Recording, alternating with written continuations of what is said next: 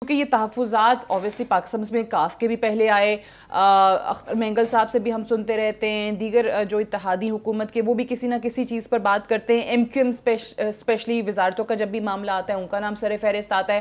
آپ لوگوں نے بھی ذکر کیا تھا کہ جی ہم سے وزارتوں کی بات کی گئی تھی، مونس الہی کا ذکر ہوا، پھر حکومت سے کہیں ذرائع سے خبر باہر نکلی کہ جناب نہیں، وہ سالک کو شاید وزارت دینے پہ تیار ہے، مونس کے لیے نہیں مانتے۔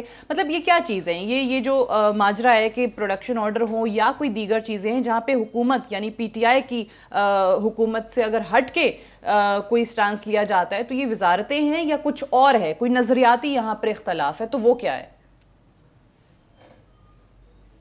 ساتھیہ دیکھیں ایک بات تو بڑی کلیئر ہے کہ ہم اتحادی ہیں پی ٹی آئی کے اور ہمارا جو جی۔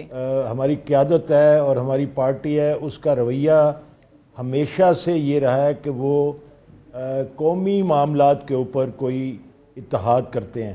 اور یہ چھوٹی موٹی چیزیں جو ہیں، یہ اس کے اندر امن مانے نہیں بن سکتی کہ کوئی وزارت اگر آج تک نہیں ملی تو اس کے تحفظات ضرور ہیں۔ ہم شکایت ضرور کرتے رہیں گے اور تحفظ جو ہے وہ رکھنا وہ ہمارا حق ہے، جمہوری حق ہے۔ اور اس کے علاوہ ہمارے اور بھی کئی گلے گزاریاں چلتی ہیں۔ ہم ہم سب سے زیادہ تو ہم زور دیتے ہیں شروع سے لے کے اب تک کہ مشاورت کی کمی ہے۔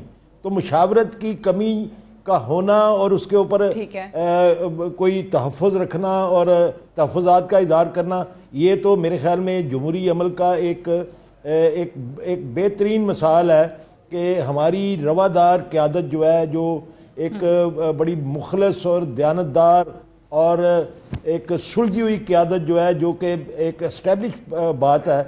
اس کا قطعی طور پہ بلیک میلنگ یا ایکسپلائٹیشن والا رویہ تو کبھی نہ ہوگا نہ ہے نہ آئندہ ہوگا۔ اور یہ واضح بات ہے اچھا، ہماری پارٹی کا موقف ہے کہ ہم آخری دم تک اس حکومت کا ساتھ دیں گے۔ اور جہاں تک تحفظات کی بات ہے وہ تو دوسری پارٹیوں نے بھی ہمارے ساتھ بیٹھ کے اپنے تحفظات کا اظہار کیا۔ چودھری شجاعت صاحب کے زورانے پہ دوسری پارٹیاں بھی تشریف لائیں انہوں نے بات کی۔